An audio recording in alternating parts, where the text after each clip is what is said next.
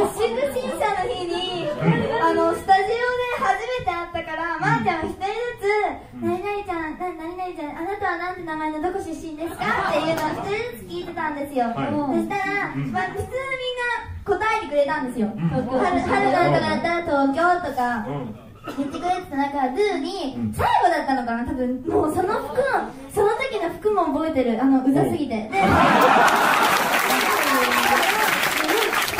まーちゃんがクズにこう「ええっと名前なんですか?」工藤遥みたいな言って「モノマネがもうえみたいになって「えうんとどどこ出身っすか?」「アルプレイク」聞き間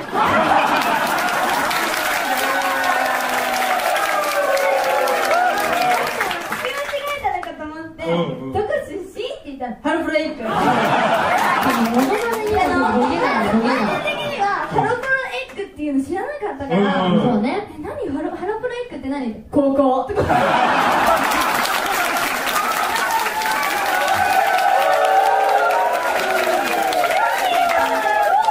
やばいと思って。でもその入ったら当時に「あーちゃんすげえやばい子なんですよ」みたいに言うけどお前が一番やばい